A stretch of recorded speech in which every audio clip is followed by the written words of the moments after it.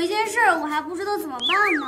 什么事啊？你说出来，说不定我聪明的胖妞可以帮你想办法呢。真的吗，胖妞？当然是真的啦。哎呀，其实事情是这样的，今天是三月八日，女神节，我想给老师送一件小礼物，但是不知道送什么礼物。哎，你可以送花呀，老师最喜欢花了。有钱，我的零花钱都已经花完了。哎呀，小白，礼物并不一定要花钱买，自己做的才有意义呢。自己做有道理，可是我也不会呀。你不会，我会呀。今天我要教你用纸巾做康乃馨。哇，真的吗？那你快教教我吧。行，首先咱们要把做康乃馨的材料给拿出来：纸巾、彩笔、双面胶，还有彩纸。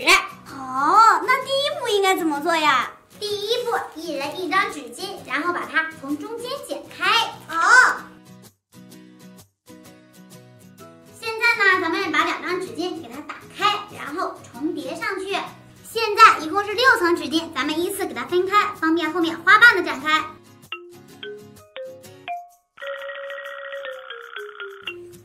胖妞，我的已经展开好了。下一步，咱们就要像折扇子一样，把这张纸啊折成一公分的长条。好。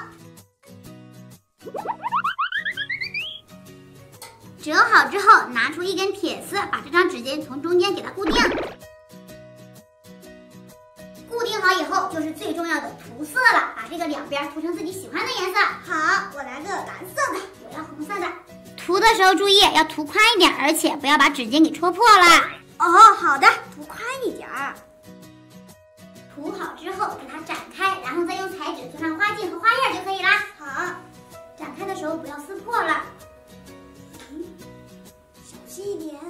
哇，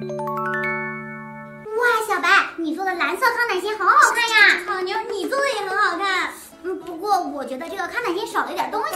少了一点东西？没有，胖妞，这花叶和花梗都在呢。嗯，不是这些。哦，我知道了，少了祝福语。咱们送给老师花，肯定要写祝福语呀。哦，对